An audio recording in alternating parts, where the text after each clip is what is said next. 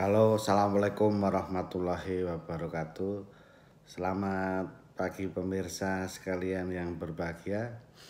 Selamat datang di channel Agus Susanto yang diharapkan dengan channel ini kita bisa memberikan inspirasi-inspirasi yang dapat uh, menjadi trigger kemajuan kita bersama.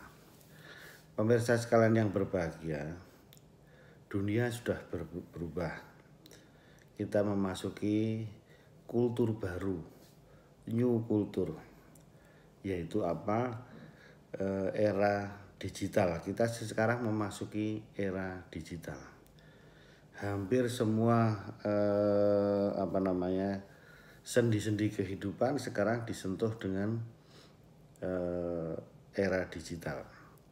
Kita mengenal 3B dalam hidup ini berkaitan dengan dunia digital. B. Belajar. dalam belajar semua sekolah sekarang sudah hampir satu tahun dengan sistem daring. Di rumah tapi dengan belajar. Nah ini dipaksa eh, karena ada internet, ada covid sehingga B yang pertama kita belajar dengan menggunakan eh, digital internet. Nah, B yang kedua kita belanja. Belanja banyak menggunakan online, digital lagi. Nah, dalam dunia merambah dunia digital yang lain. Kemudian bekerja. Nah, bekerja bisa di rumah. Pekerjaan yang administrasi terutama ini bisa dikerjakan di rumah. Laporan-laporan di rumah, Ah, kemudian eh, seminar di rumah, marketing juga di rumah. Jadi ini akan menjadi lebih efisien lagi, lebih eh, menguntungkan dan sebagainya. Ini yang jelas dunia sudah berubah.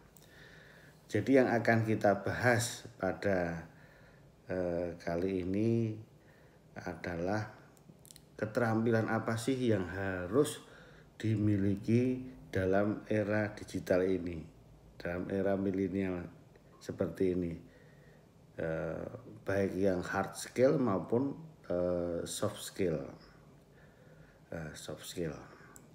Jadi kalau yang hard, eh, yang hard skill, karena eranya era digital kita juga harus menguasai di era digital ini apa yang dimaksud dengan hard skill adalah kemampuan teknis yang memang harus bisa.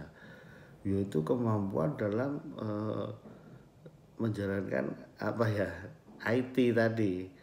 IT jadi gampangnya mudahnya kita tidak gagap teknologi tidak gaptek jadi kita bisa uh, main internet searching dengan lancar bagaimana mencari bagaimana menyimpan file kemudian bisa melaksanakan bermain medsos bisa semua Instagram bisa Facebook bisa Twitter bisa YouTube bisa dan sebagainya. Jadi mengoperasikan komputer otomatis atau e, smartphone juga otomatis harus dikuasai. Itu yang utama yang hard ya. Tetapi harus didukung juga dengan kemampuan yang soft pendukungnya. Jadi pendukungnya itu apa juga harus dipenuhi. Eh, yang pertama adalah eh, ilmunya yang soft skill yang harus komunikasi. Ilmu komunikasi, bagaimana berkomunikasi, menyampaikan ide-ide, gagasan, pesan dan sebagainya harus terampil. Karena apa? Semua dalam bentuk digital itu tadi di rumah. Ya kalau nggak bisa ngomong komunikasinya gimana? Nggak bisa lancar dan sukses begitu. Jadi komunikasi cara presentasi cara ngomong itu harus e, komunikasinya yang bagus yang baik. Harus ada teknik-tekniknya gitu. Ya tanpa komunikasi yang baik bagaimana di dalam era digital ini bisa mendukung semua kegiatan. Ya, ini harus ya tetap harus latihan itu tadi komunikasi yang pertama. Yang kedua adalah motivasi. Motivasi harus kuat di dalam era digital kenapa? Semua diserahkan pada diri sendiri. Mau belajar ya silakan mau belanja ya sendiri ya silakan mau bekerja sendiri ya silakan. Tidak harus diawasi dipengaruhi orang yang lain nggak boleh meleng kan gitu. Nah itu yang sangat eh, penting. Motivasi diri untuk maju untuk melaksanakan kegiatan-kegiatan digital tersebut. Nah ini yang eh, sangat penting. Motivasi diri. Bagaimana kalau kita tidak bisa tidak mempunyai motivasi yang kuat mau belajar misalnya ini misalnya cara memasak pecel lele misalnya ini ya. Ya kita harus uh, semangat lah mencari motivasinya searching di apa Google di YouTube dan sebagainya supaya dapat informasi. Itu yang yang kedua motivasinya harus kuat.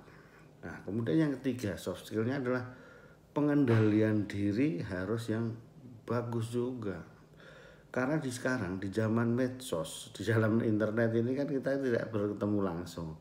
Kita tidak kenal nah, tidak tapi juga harus eh, pengendalian emosinya harus yang bagus. Jangan gampang marah-marah kan gitu. Jangan gampang menghujat aja karena nggak kenal. Siapa yang dilawan pun nggak kenal sangat jangan salah pula iya kan kan ada juga undang-undang apa ITE kan begitu. Jadi kita harus hati-hati. Pengendalian emosi dirinya harus dijaga baik-baik nah, itu di dalam uh, dunia digital. Jangan langsung nggak kenal hantam romo sendiri eh, merugikan diri sendiri. Jaga emosinya. Kemudian yang keempat adalah harus berpikir kreatif dan inovatif. Ini sering saya, saya sampaikan. Dengan dunia digital tersebut, kita harus kreatif, harus inovatif. Yang baru tampilkan kalau biasa-biasa ya kalah dengan yang lain, tenggelam. Itu kita harus di bidang kita masing-masing kita harus kreatif. Nah, yang belum ada ciptakan ya meskipun Eh, sedikit kecil tapi harus kreatif kita. Supaya kita menjadi pionir menjadi uh, leader di depan.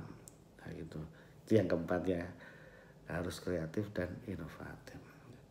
Yang kelima apa pun ceritanya sebenarnya kalau tidak di dalam dunia digital dan di dunia digital yang penting adalah integritas.